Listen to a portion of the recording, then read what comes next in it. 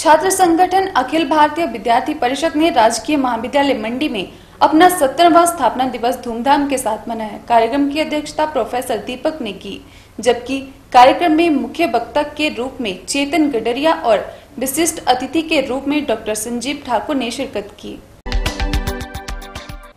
मंडी में छात्र संगठन अखिल भारतीय विद्यार्थी परिषद ने राजकीय महाविद्यालय मंडी में अपना सत्तरवां स्थापना दिवस धूमधाम के साथ मनाया।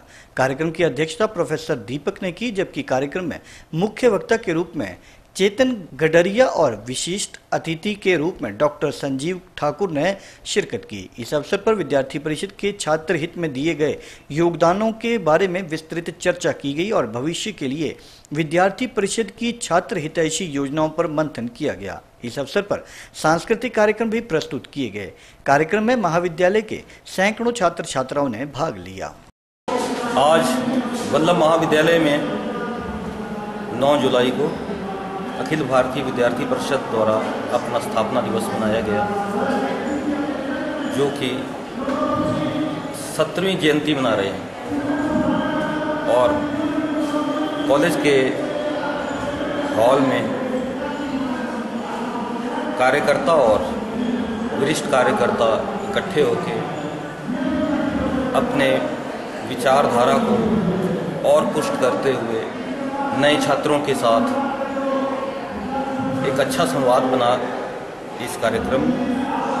और इसी कार्यक्रम में कुछ सांस्कृतिक कार्यक्रम भी प्रस्तुत किए जा रहे हैं। मेरे दृष्टि से नए आने वाले छात्रों छात्राओं के लिए और पुराने लोगों के लिए संवाद का एक, एक बहुत बेहतरीन कार्यक्रम रहा है। तो आगे भी इस तरह के कार्यक्रम चलते रहें।